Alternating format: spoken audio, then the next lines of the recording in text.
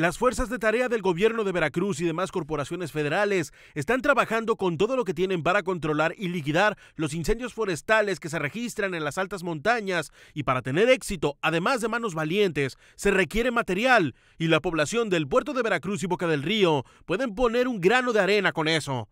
La Procuraduría del Medio Ambiente confirmó que fueron instalados centros de acopio para que la gente dirija materiales necesarios para continuar los trabajos en las altas montañas. Lo que se está requiriendo es agua embotellada, sueros y herramientas como palas, guantes, machetes, picos y asadones. La ayuda se puede enviar a la oficina central de la Procuraduría del Medio Ambiente de Veracruz, ubicada en el fraccionamiento Virginia de Boca del Río, en la avenida Paseo de las Flores, esquina Alaminos. Por otro lado, en el mismo acuarium del puerto de Veracruz habrá un centro de acopio. Está en la explanada de la plaza sobre el bulevar Manuel Ávila Camacho.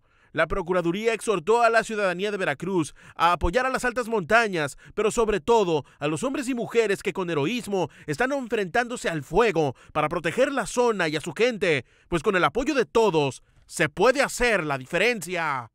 Abraham Nazar, RTV, más noticias.